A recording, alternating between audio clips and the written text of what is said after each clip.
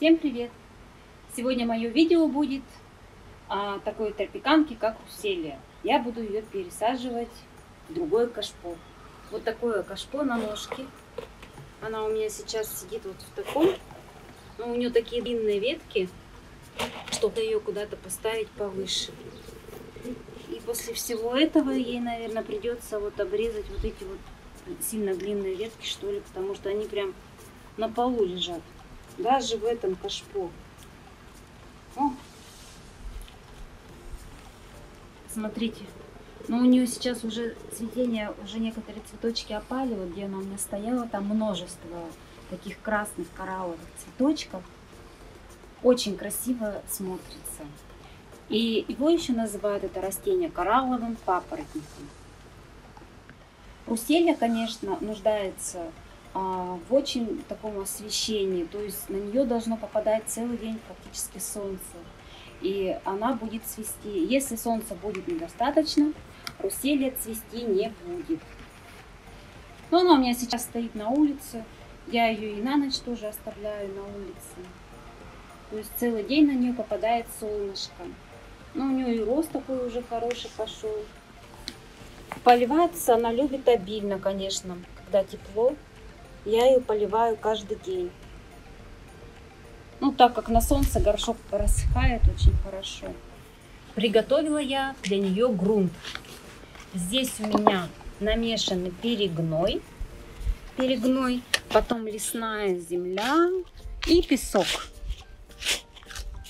Ну вот такая, в общем-то, рыхлая почва, плодородная. Вот здесь даже червячок, червячка, конечно, я уберу. Плодородная, то есть Руселия любит. Сейчас она в этой земельке у меня-то вообще, наверное, попрет.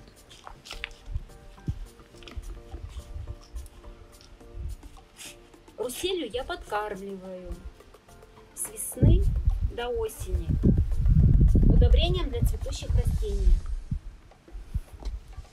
Ну, вообще она любит покушать, конечно. Как и все остальные цветущие растения. На ведро не обращайте внимания, это у меня уличное ведро, просто оно большое. Я там намешала грунт. Ну что, приступим. Сейчас я буду ее переваливать. Ох, вымахала кашпо я, конечно же, насыпала керамзит и сделала отверстие. Просверлила отверстие, то есть там дырочка у меня, чтобы если водичка будет скапливаться, то ей будет куда стечь. Керамзит у меня вот так вот здесь. Родина этого растения Мексика.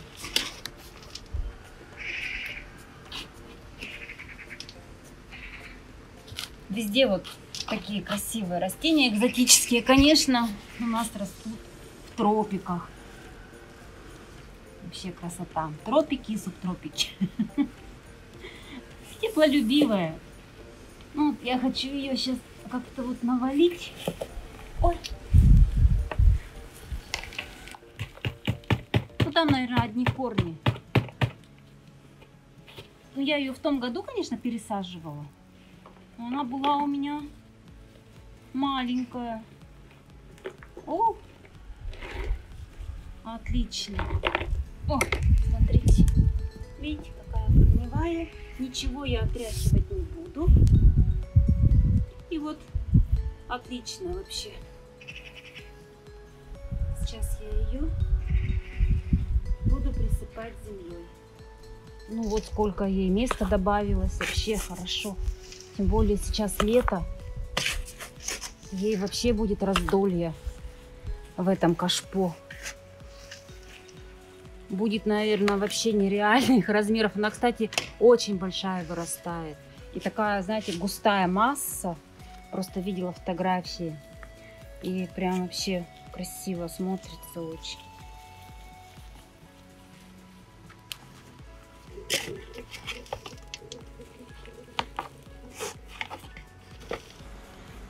Зимовала она у меня в доме, да и в квартире тоже зимовала. В принципе, хорошо. Но главное ей светлое место. И главное в зимнее время ее не перелить, чтобы у нее корешочки не загнили. А так, конечно, то же самое светлое место и все. И она прекрасно себя чувствует.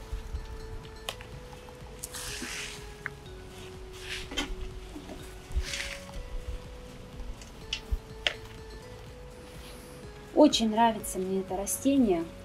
Очень декоративно смотрится вот из-за его вот этих коралловых цветочков. Ну, кашпо, конечно, ему вообще супер. В общем, у кого нет еще такого растения, так что можете завести такую красавицу. И она вас будет радовать вот такими коралловыми цветочками. Не хватило у меня земли,